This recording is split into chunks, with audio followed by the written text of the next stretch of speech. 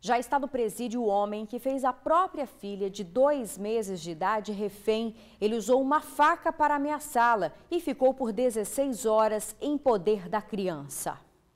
Foram quase 17 horas à espera do aconchego. Lucimara hoje pega no colo a filha que por pouco achou que não viria mais viva. A noite de domingo terminou diferente para essa dona de casa de 44 anos. Depois dessa noite foi tão tranquilo dormir com minha filha, entendeu? Senti ela comigo, toda hora mamando, como sempre ela fazia, mamando. Nossa, foi a noite de.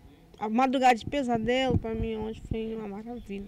O bebê de dois meses ficou refém do próprio pai dentro da casa da família. Foram momentos de terror. A mãe, quando viu a Dilcimar Pereira apontando a faca para a criança, ficou desesperada. Tava bêbado, na verdade, né? Aí Tipo, tentou matar minha irmã, no caso. Ele tava com a faca na mão e a neném tava no colo dele. Falava que ia matar ela, que ninguém ia subir, só ia subir para buscar o corpo dela. O ajudante de pedreiro de 42 anos ameaçou jogar a criança do terraço várias vezes. Vizinhos viram a cena e tentaram ajudar. Muito revoltante, eu fico até emocionada, não consigo nem falar. Os policiais do Batalhão de Missões Especiais foram acionados e montaram um cerco policial em toda a comunidade do bairro Resistência em Vitória.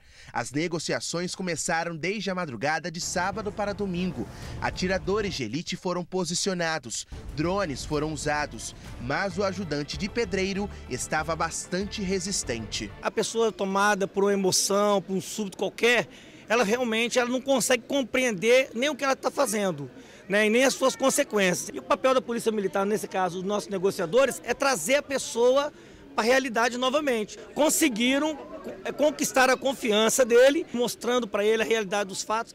Ele vem voltando à normalidade e conscientemente ele mesmo quis se entregar. Os policiais invadiram a casa e prenderam o ajudante de pedreiro. Nós estávamos preparados para, se fosse o caso, né, caso a vida do bebê ela estivesse, ela fosse atacada ou estivesse na iminência de ser atacada, nós estaríamos prontos para fazer o uso de força, força letal inclusive. O ajudante de pedreiro foi medicado e encaminhado ao Hospital São Lucas, em Vitória. Em seguida, ele foi trazido aqui para o Hospital Estadual de Atenção Clínica, o antigo Adalto Botelho. No início da tarde dessa segunda-feira, ele recebeu alta e foi levado para o presídio de Viana, onde passará por uma audiência de custódia. A história que começou trágica terminou feliz. A criança está bem, saudável e sem qualquer tipo de fratura. A partir de agora, começará uma nova fase na família de Lucimara. Muito bem, tá, tá ótimo. Examinou ela, tá tudo ok. Não tem, nada, não tem fatura nenhuma, nada, nada, nada. Tá super bem mesmo. Olha, segundo o Tribunal de Justiça, a audiência de custódia do suspeito será feita amanhã.